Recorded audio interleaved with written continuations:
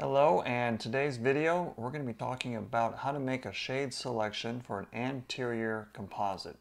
You can see from this case, uh, this young girl came in and she had chipped her front two teeth and we were trying to determine what shade we're going to use. So when you can see this example, we held up two different shade guides, both A1 and A2 using the uh, Aesthetics shade guide in the Aesthetics composite kit and it almost looks like the A1 shade is a little bit too light and perhaps the A2 is about the right color but maybe a little bit too dark.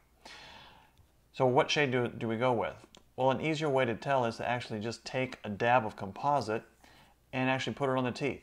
And now you can see tooth number 8 has a dab of A1 and uh, number 9 has a dab of A2.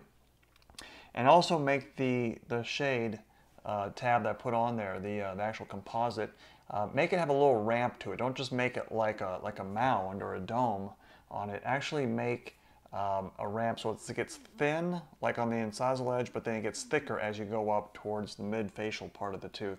That way you can see how this uh, composite color will, will play out uh, when it's thin versus when it's uh, thicker. So then once we determine that A1 was indeed the right shade for this, this case, went ahead and prepped the teeth and I do what's called, I call it a, like a taco shell design. You can see I extended the prep onto the facial, uh, leaving some of that mid inner part uh, to lay the composite you know, up against. And then on the back side, the lingual, in this photograph it's kind of hard to tell, but uh, I actually wrap the composite around to kind of cup or to, to grab a hold of the lingual side of that composite. I'm sorry, of the tooth with the composite.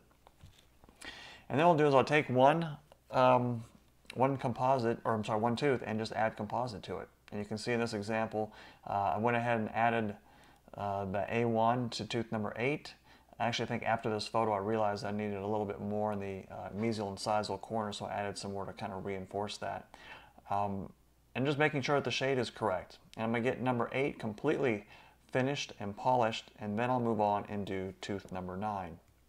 And now you can see in the final photo, um, the final case is, is, put together. This took probably 30, maybe 40 minutes uh, to do. Went ahead and gave this patient anesthetic because as we're, uh, of course, drilling on the teeth and, and putting uh, the matrix band in place underneath the gum line, it's just much more comfortable for the patient to be numb during that part of the procedure.